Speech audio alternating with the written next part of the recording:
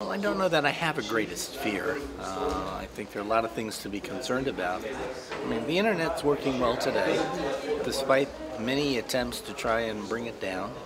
Uh, we have a lot of issues with distributed denial of service attacks. We have real concerns about all the spam and the viruses. But, you know, in some sense, if you take virus as an example, the internet's really working well. It's spreading them around, you know, so we don't need a new internet uh, when the current one is working well, we have an issue maybe of making more secure applications and operating systems and the like.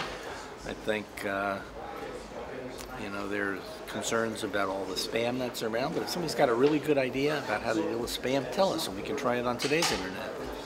So, I, I mean, I think the internet has served, you know, the greater good, um, and as long as the pluses are a lot bigger than the minuses, I mean, it's a, it's a, it's a real positive take any technology that's come about and we find it's got a downside too. We don't ban automobiles because we have accidents. We don't rule out the use of matches because things can burn down.